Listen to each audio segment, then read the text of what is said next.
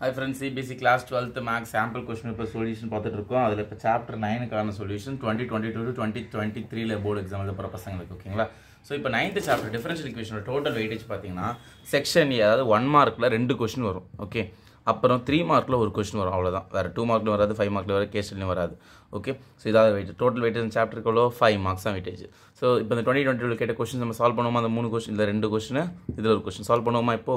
இப்போ செக்ஷன் ஏல ரெண்டு கொஸ்டின் சொன்ன பார்த்தீங்கன்னா கொஸ்டின் நம்பர் சிக்ஸ் இந்த டேர்ம் கொடுத்துறாங்க எம் அண்ட் என்னங்கிறது order and degree of the differential equation இப்போ D by DX of something கொடுத்துருக்காங்க. இப்போ நல்லா பாருங்களேன். D by DX of X power ஃபோர்னா என்ன பண்ணுவோம்? ஃபோரை ஃப்ரண்ட்டை தள்ளுவோம். பவரில் ஒன்று குறைச்சிருவோம். இதான் இதோட டிஃபரன்ஷியேஷன் அப்போது இது டிஃபரன்ஷியல் ஈக்குவேஷன் கிடையாது. இதை நான் டிஃபரன்ஷியேட் பண்ணிவிட்டு அந்த டி பை டிஎக்ஸ்னு விடுறாங்க டிஃபரன்ஷியேட் பண்ண அப்புறம் வரும் பார்த்தீங்கன்னா ஒரு ஆன்சர் அதுதான் என்னோட டிஃபரன்ஷியல் ஈக்குவேஷன் ஓகேவா இப்போ எக்ஸ் பவர் ஃபோர் எப்படி பண்ணுறேன் ஃபோரை ஃப்ரண்ட்டில் தள்ளுறேன் பவர் ஒன்று குறைக்கிறேன். அதே மாதிரி டிஃபரன்ஷியேட் பண்ணுங்கள் ஃபோரை ஃப்ரண்ட்டில் தள்ளுறேன் பவரில் ஒன்று குறைக்கிறேன் DY by DX the whole cube into இப்போ இதே இடத்துல இப்படி இருக்குன்னு வச்சுக்கோங்களேன். டி பை டிஎக்ஸா சம்திங் ஒய் பவர் ஃபோர் இருந்தால் என்ன பண்ணுவீங்க? ஃபோரை ஃப்ரண்ட்டில் தள்ளுவீங்க. பவரில் ஒன்று குறைப்பீங்க. அப்புறம் எக்ஸ் இருக்க வேண்டிய இடத்துல வேற ஒருத்தன் இருக்கிறான். ஒய்ன்னு வேறு வேரியபிளுங்கனால அதை மல்டிப்ளை பண்ணுவேன் டிஒய் பை டிஎக்ஸ் இது தனியாக எடுத்து டிஃப்ரென்ஷியேட் பண்ணி போடுவோம். அதே மாதிரி எக்ஸ் இருக்க இடத்து இந்த டேர்ம் இருக்கா?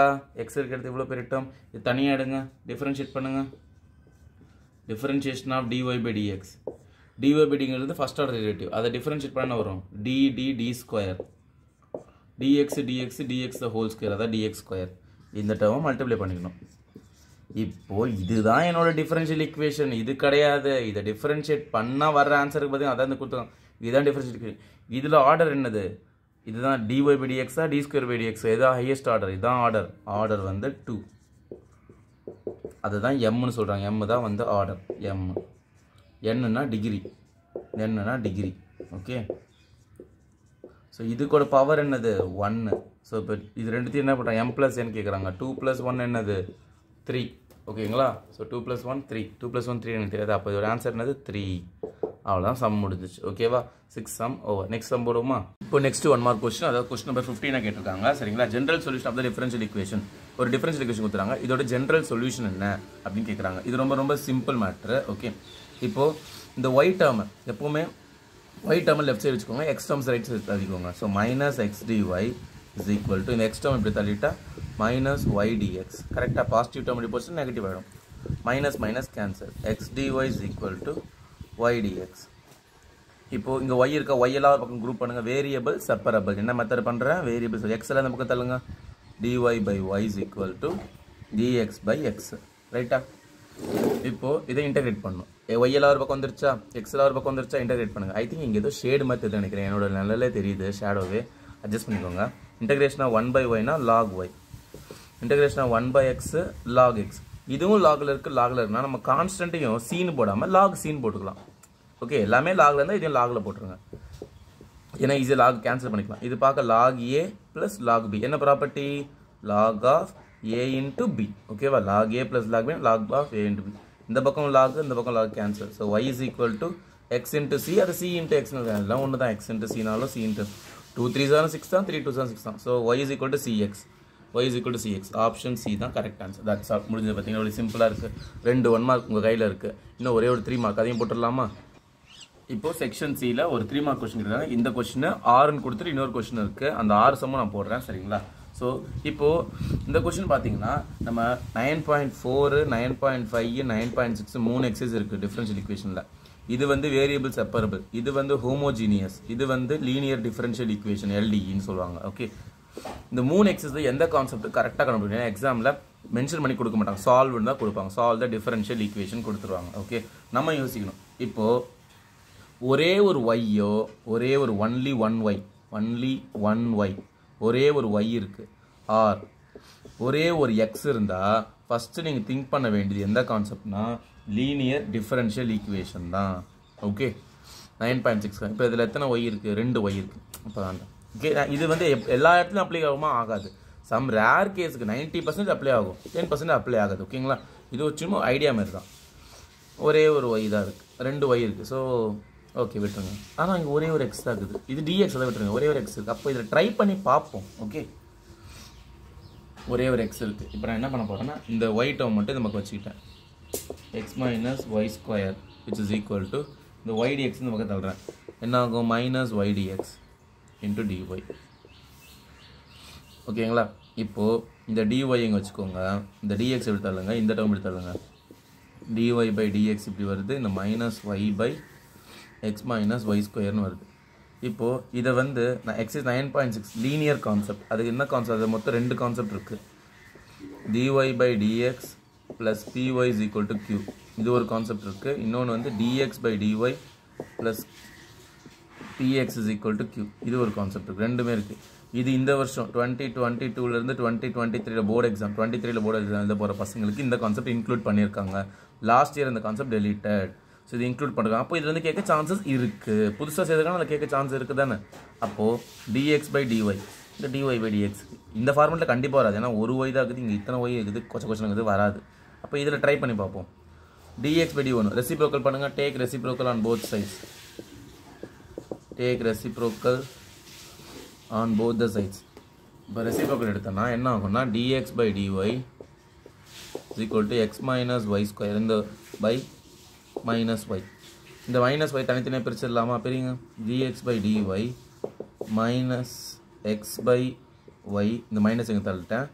Next minus Y square by minus Y இந்த மைனஸ் மேலே தள்ளிட்டேன் இங்கே இப்படி வருது ஓகேவா இப்போ மைனஸ் மைனஸ் கேன்சல் ஒய் ஒய்யும் கேன்சல் டிஎக்ஸ் பை டிஒய் இந்த மைனஸ் எக்ஸ் ஒய் இப்படி தள்ளிட்டால் ப்ளஸ் எக்ஸ் பை ஒய் ஆகிடும் விச் இஸ் ஈக்குவல் டு இங்கே மைனஸ் மைனஸ் கேன்சல் ப்ளஸ் ஒரு ஒய் கேன்சல் ஒய் ஸோ பாருங்கள் DX by DY DX by DY P X இங்கே ஒரு X இருக்குது அப்போ பி பிளேஸ் என்ன இருக்குது ஒன்றுமே இல்லை மேலே ஒன் அர்த்தம். ஸோ பி பிளேஸில் ஒன் பை ஒய்யு ரைட் சைடில் என்ன இருக்குது க்யூ க்யூனா ஒன் ஒய்யு ஓகே ஸோ இந்த கேஸில் பியும் க்யூவும் ஃபங்க்ஷன்ஸ் ஆஃப் ஒய்யாக தான் இருக்கும். அதாவது இன் டேர்ம்ஸ் ஆஃப் ஒயில் தான் இருக்கும். Something Y square one by Y sine Y cos Y இந்த மாதிரி தான் இருக்கும்.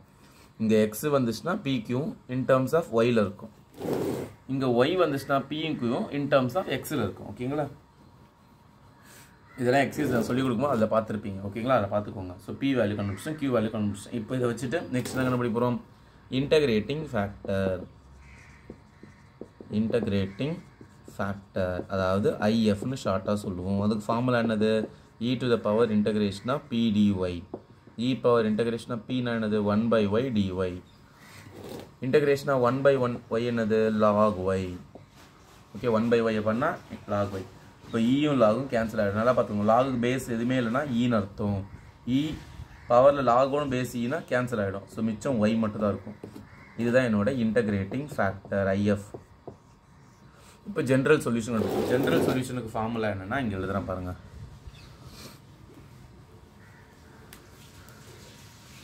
ஜென்ரல் சொல்யூஷன் இதுக்கு என்ன ஃபார்முலானா x into IF is equal to integration of Q into IF into dy so x into IF answer இப்போ என்ன கண்டுபிடிச்சோம்? ஐஎஃப்னா இன்டகிரேட்டிங் ஃபேக்டர் ஆன்சர் வந்துச்சு ஒய்ன்னு வந்துச்சு. இது பார்த்தீங்களா ஒய் அதை இங்கே போட்டுக்கலாம். இன்டகிரேஷன் ஆஃப் கியூவோட ஆன்சர் என்ன வந்துச்சு? கியூ வந்து அதுவும் ஒய் தான். ஸோ கியூவும் y ஐஎஃப்பும் y dy y into y y square dy இப்போ இதை இன்டகிரேட் பண்ணுவோமா? ஒய் ஸ்கொயர் இன்டகிரேட் பண்ண என்ன வரும்? ஒய் பவர் த்ரீ பை த்ரீன்னு வந்துடும் கரெக்டாக பவர் டூன்னு இருந்தால் ப்ளஸ் ஒன் பை ஒன்று அதே டேர்ம் வந்துடும் பவர் டூன்னு இருந்தால் ப்ளஸ் ஒன் பை அதே சேம் டூ ப்ளஸ் ஒன் கீழே வந்துடும் ஓகே ஃபைனலாக C so x y so இதுதான் என்னோட ஆன்சர் இதுதான் ஜென்ரல் சொல்யூஷன் ஜிஎஸ்னா கோபிநாத் சண்முகம்ல ஜென்ரல் சொல்யூஷன் ஓகேவா ஸோ இதோட ஃபர்ஸ்ட் இது முடிஞ்சு இதில் ஆறுன்னு கொடுத்து செகண்ட் கேஸ் கேட்டாங்க. அதுவும் போட்டுடலாமா?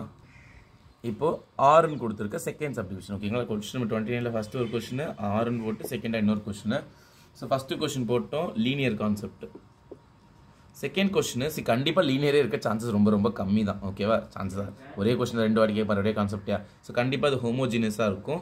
இல்லை வேரியபிள் செப்பரபிளாக இருக்கும். இதில் எக்ஸ் எல்லாம் தனியாக ஒய்லாம் தனியாக பிரிக்க முடியாது. ஏன்னா பாருங்க ரூட் போட்டு எக்ஸ் ஸ்கொயர் ஒய் ஸ்கொயர்லாம் இது பிரிக்கலாம் முடியாது.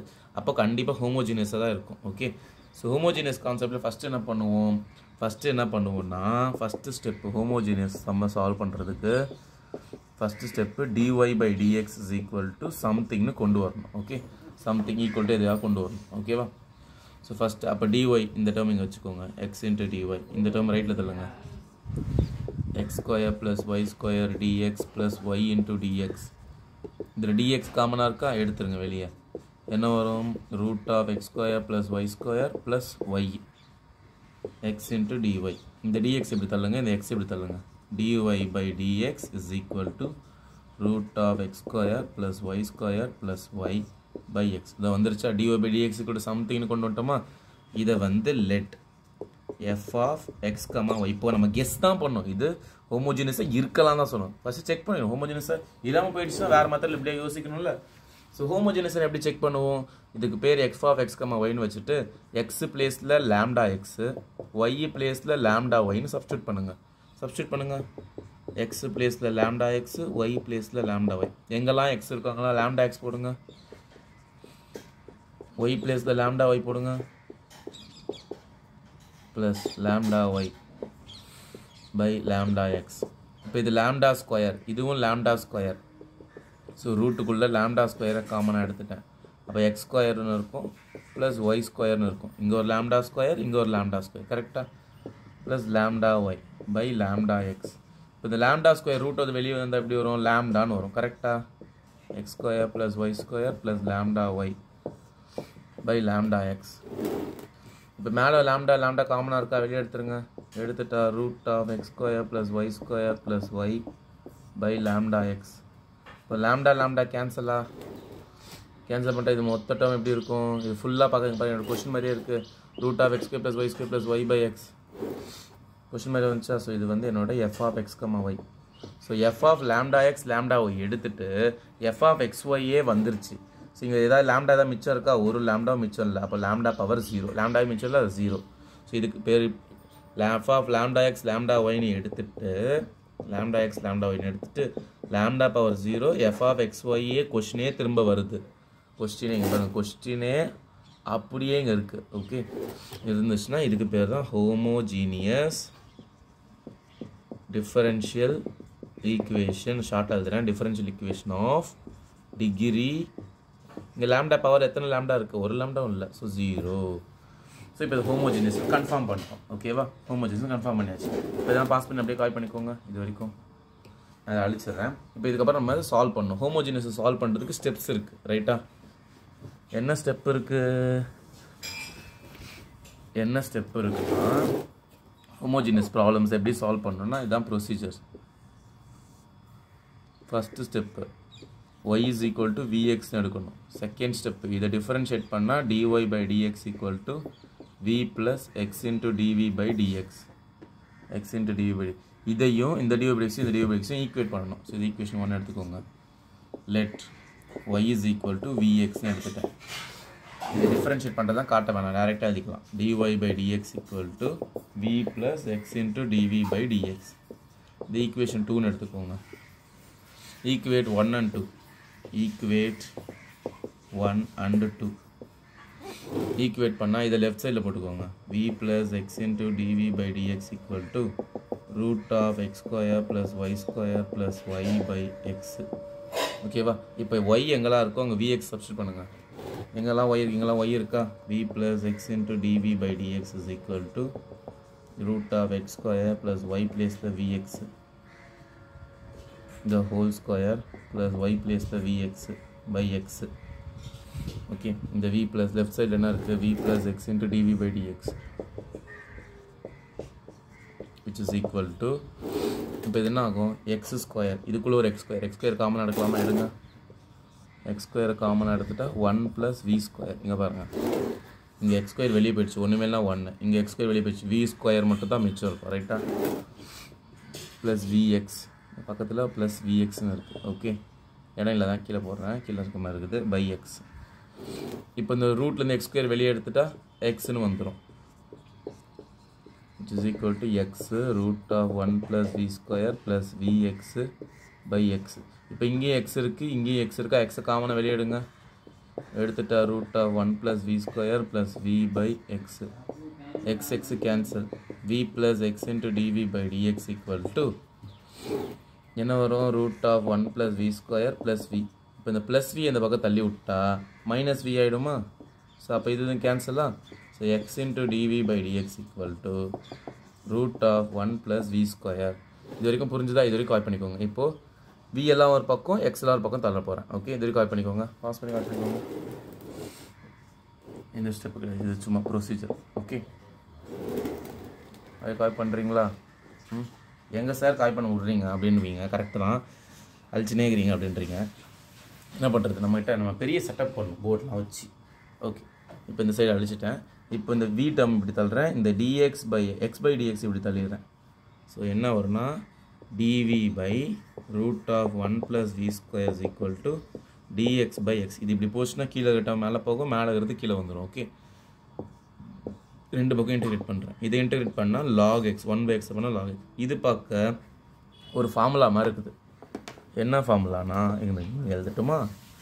Recall இன்டகிரேஷனா one by root of a square plus x square டிஎக்ஸ்னா log of x plus root of அதே a square plus x square அப்படி வந்துடும் இதுதான் formula okay plus C so a square மாதிரி இங்கே one ஸ்கொயர்னு இருக்குது ஒன்று ஒன் ஸ்கொயர்னு எழுதிக்கலாம்ல? அப்போது இதே மாதிரி தாங்க லாகுக்கு லாகு எக்ஸுனா வி இங்கே வி தானே இருக்குது எக்ஸ் பிளேஸில் ரூட் ஆஃப் ஏ ஸ்கொயர்னால் ஒன் ஸ்கொயர்னால் ஒன்று எக்ஸ் ஸ்கொயர்னா வி ஸ்கொயரு இதுவும் லாக் இதுவும் லாக்னா ரைட் சைடில் கான்ஸ்டன்ட்டையும் லாக் சீன் போட்டுக்கோங்க. ஓகேவா ஸோ இது log a plus log b மாதிரி அப்போ ப்ராப்பர்ட்டி என்னது? Log A plus log Bina log of a into b so இந்த பக்கம் log of v plus root of one plus v square இந்த லாக் லாக் கேன்சல் ஸோ என்ன மிச்சம் இருக்குது v plus root of one plus v square is equal to x C question வந்து இங்கே பாருங்கள் question வந்து எக்ஸு ஒயில் தானே இருக்குது அப்போ ஆன்சரையும் எக்ஸு ஒயில் தான் கொடுக்கணும். நம்ம வீல்லாம் கொடுக்கக்கூடாது. அமேசான் ஃப்ளிப்கார்ட்டில் மொபைல் ஃபோன் ஆர்டர் பண்ணிட்டு சோப்பு போனால் சும்மா இருக்குமா இருக்க மாட்டோம்ல அந்த மாதிரி தான். ஓகே இப்போது வீணா என்னது? இங்கே ஒரு அசம்ஷன் பண்ண பார்த்தீங்கன்னா அதை எடுத்துக்கோங்க. வியை மட்டும் இங்கே வச்சுக்கோங்க. இந்த எக்ஸ் எப்படி தள்ளுங்க. Y by x is equal to v so v பிளேஸில் ஒய் பை எக்ஸ்னு போடுங்க. Substitute v is equal to y by x இந்த ஸ்டெப்பில் சப்ஸ்டியூட் பண்ணுங்கள் வி இருக்கிற இடத்துல y by x plus root of 1 plus y by x the whole square is equal to xc y by x plus root of y square பண்ணா y square x square பண்ணா x square which is equal to xc இப்போ இது LCM எடுத்துக்கோங்க LCM எடுத்தா இது என்ன ஆகும்னா so என்ன ஆகும் y by x plus square root of x square plus y square by x square which is equal to xc இப்போ ரூட் அவுட் இந்த எக்ஸை வெளியே எக்ஸ் ஸ்கொயர் வெளியே எடுத்துட்டா மேலே மட்டும் ரூட் இருக்கும். கீழே வந்து எக்ஸ் ஸ்கொயருக்கு ரூட் எடுத்தால் எக்ஸ்னு வந்துடும் கரெக்டாக இஸ் ஈக்குவல் டு எக்ஸ்சி இப்போ இங்கேயும் எக்ஸ் இங்கேயும் எக்ஸ் காமனாக எக்ஸ் போட்டுக்கலாம்.